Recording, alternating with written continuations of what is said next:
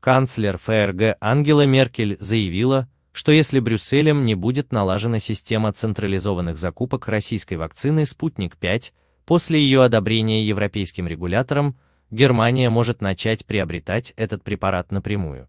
Таким образом, Меркель после совещания с руководителями регионов Германии по вопросам вакцинации пригрозила властям ЕС начать прямые закупки препарата у России.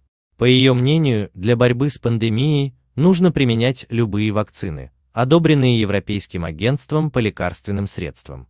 Берлин предпочел бы это делать централизованно, но готов и к прямым соглашениям с Москвой.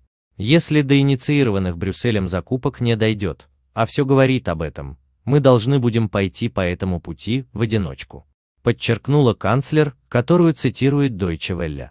По мнению премьер-министра Тюрингии Бадора Амелова, Тюрингия в последние недели несет особенно большие потери в результате COVID-19. Германия не должна ждать официального одобрения вакцины из России европейским регулятором, и нужно заключить предварительный договор с РФ по поставках препарата. Спутник-5 разрешен к применению уже в 54 странах мира, и их список постоянно расширяется.